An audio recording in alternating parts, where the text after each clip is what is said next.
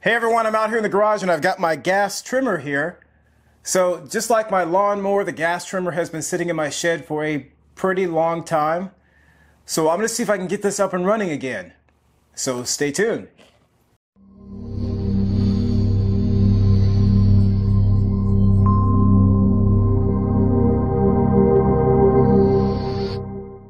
So if you're new to the channel, I just want to welcome you here and hopefully you'll consider subscribing if you like what you see. Also, check out DIY Apprentice on Instagram, Twitter, and Facebook. I post lots of pictures on those platforms before I post anything on YouTube. And occasionally I'll post things on those platforms I don't post on YouTube. Also, check out the website at DIYapprentice.com. So this is my Poulan PPB 100 gas trimmer. And yes, that is how you pronounce it. It is Poulan. I saw a TV commercial from back in the 70s where they talked about how to properly pronounce the name, it is Poland, just like the country, but without the D. So this trimmer has been sitting in my shed for probably, I want to say around 10 years, not running. I think I bought it about 15 years ago. And I usually use my, my electric trimmer because it's just much easier to pull out instead of trying to fuss with this thing and trying to get it started. But I like using gas equipment or equipment that doesn't have cords. And so I like to get this running again. So the thing I like about this tool, is you can see, it's got the ability to add different attachments on the end. And I've really never taken advantage of that feature. I've only used the trimmer uh, attachment, and that's it. So just like with the mower video that I did on the Toro 20333, I'm gonna walk through some simple steps on this tool. So let's get into it. Prior to the making of this video, I did some work on the trimmer that I'll get into as we go along.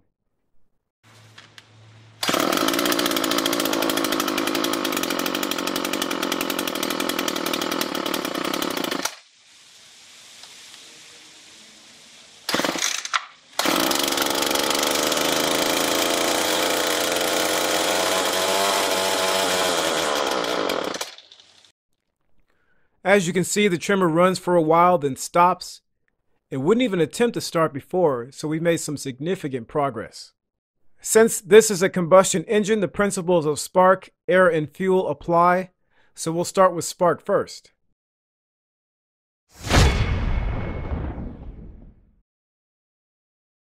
Okay, so the first thing I'm going to do is go ahead and remove the spark plug. And I want to check the connector here to make sure that it is not dirty or doesn't have any corrosion on it. So pull that off first. And I don't know if you can see that, but it looks fairly clean inside there. No corrosion that I can see. I'm going to go ahead and pull the spark plug off next. The recommended spark plug for this trimmer is Champion RCJ-6Y, and it should be removed and tightened with a 3 quarter inch or 19 millimeter socket.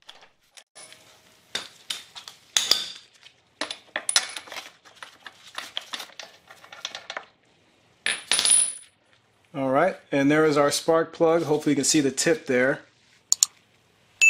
It looks fairly flat. I think this is a newer spark plug. I may have, I think I've tried to get this started several times. So the spark plug is most likely fine. All right, so I've got a spark plug gap opener tool here. And what I'm gonna do is check the space between the electrode and the tip. And it should be 0.025 inches. So let's go ahead and put this in there like that. It's already pretty tight. Slide that around and it's about, yep, 0.025 inches. So that's perfect. So I'm just going to put this back in and then we'll move on.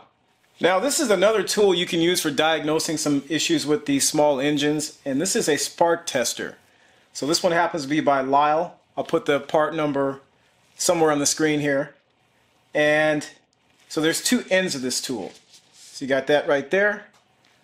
And I'll show you how this is hooked up. It's got a little uh, bulb in the middle. That bulb lights up when the engine's running. In our case, this, this tool is probably not going to provide much information because it is running for a while. It's not really running rough. It just runs for a while and then it stops running. So how this is hooked up, we've got this cable that comes with it. It's got two ends on it. So you can test different types of engines and different types of locations of spark plugs. So this one's more for, like for example, a V8 engine on a truck. This end is more for something probably like this. I also noticed that this tool does not work very well with coil on plug, spark plugs. So, for example, like if you have a car with a fuel injected uh, engine that has a coil on plug, like my Acura RL, this doesn't work very well because it's not deep enough. This part is not deep enough here. So I'm just going to hook this up real quick, just kind of show you how it looks.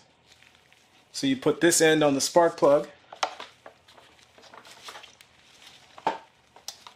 Snap it on. Uh, this end here goes on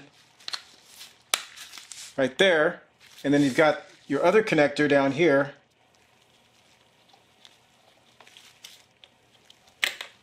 It slides on like that. So what will happen is if this bulb doesn't light up, that's telling you you don't have spark, or if you see that it's kind of you know, flickering, if it's not really consistent, then that tells you you have inconsistent spark.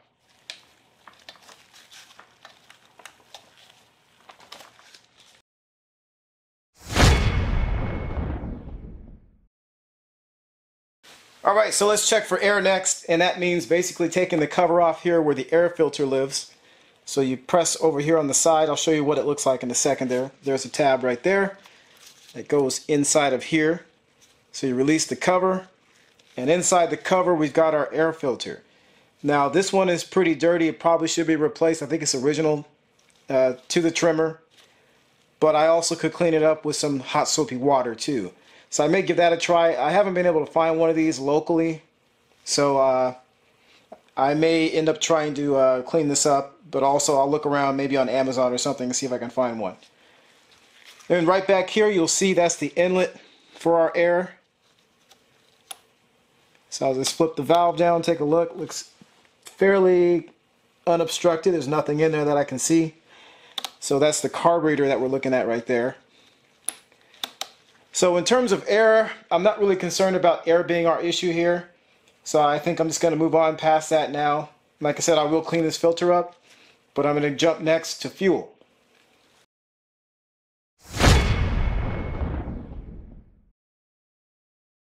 All right, so let's talk about fuel. So as most people know, these gas trimmers take a mixture of 40 to 1 ratio gas to oil. So it is a special oil, of course, that you put in here for these two cycle engines. So the tank actually has fresh gas and oil in it, so I'm not worried about that. So what we're gonna do next is take the back cover off and I'm gonna check out the fuel lines and I'll show you what I've done in there regarding the fuel lines. To access the fuel lines, we'll need to remove the two Allen head screws holding the cover using a 5 16 Allen wrench.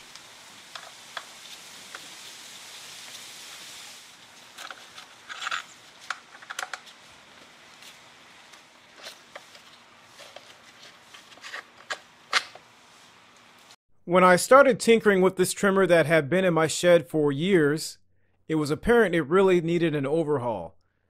The fuel lines were replaced because they were brittle and corroded. I also replaced the fuel filter inside the tank that's attached to the blue line. Check out the description below for any part numbers and sizes. A couple notes here, to replace the fuel lines, I used these cutters that I also use on PEX piping and engine vacuum lines. One thing I noticed when I pulled the fuel line out of the packaging is that the end of it was cut at an angle. This would seem to make it easier to pass the fuel line through the bottom of the tank and maintain a snug fit. The last component to check was the carburetor and I'd already pulled it once and cleaned it. So when I got a great deal on a brand new carburetor, I decided to go ahead with the replacement. I could later rebuild the old carburetor and keep it around as a backup. It really wasn't that far off from working, but I didn't want to hassle with it anymore. Before replacing the carburetor, I wanted to drain the tank to prevent a spill. So I removed the two 5 16 Allen screws, securing the tank to the trimmer.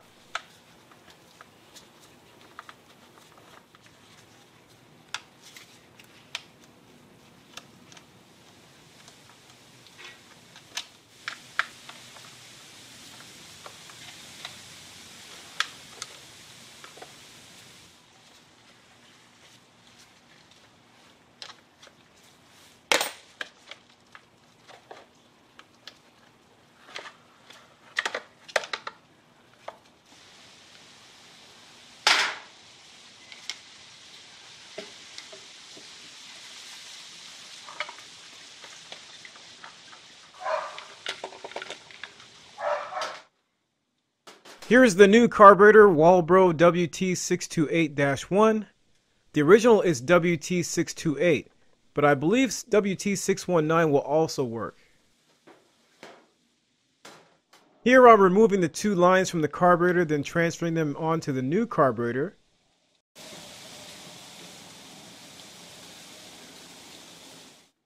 I noticed that one of the new carburetor's inlets was a hair more narrow than on the old carburetor, so I replaced the fuel line with one that provided a tighter fit. Alright, so we're now ready to reinstall everything. I'll first install the two screws holding the tank onto the trimmer using a 5 16 Allen wrench. Next, I hook the cable to the carburetor and you'll want to be sure the cable goes over the two plastic pieces below the tank when you're ready to close everything up.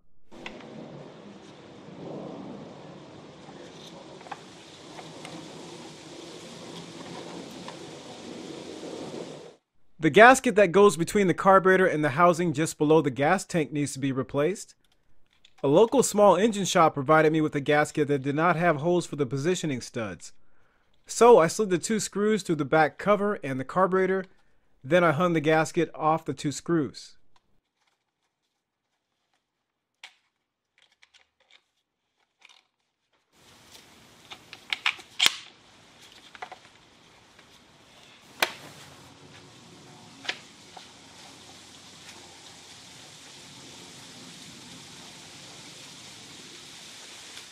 Making sure the fuel lines didn't get pinched, I tighten up the two screws with a 5 16 Allen wrench.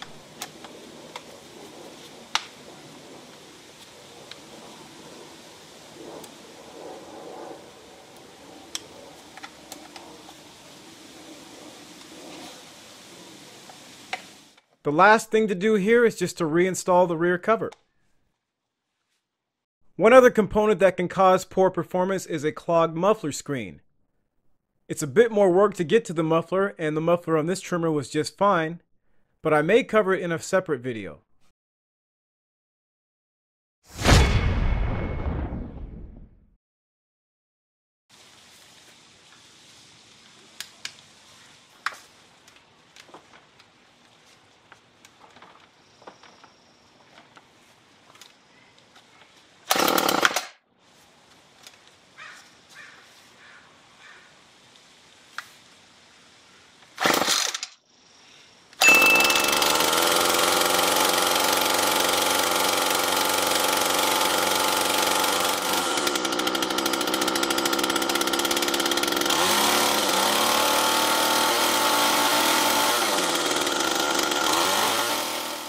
All right, so there you have it. The trimmer is working again. So you probably noticed partway through the video, I realized that I may not have had enough gas in the tank. so that's probably why it was not running like it should. So the carburetor cleaning that I did early on probably did actually resolve the issue. But you got a little bit of a bonus. You got to see me replace the carburetor. And hopefully this information was helpful. And thanks for watching. See links in the description below. Comment, like, share, and subscribe to the channel. And don't forget to check us out on social media. And thanks for watching.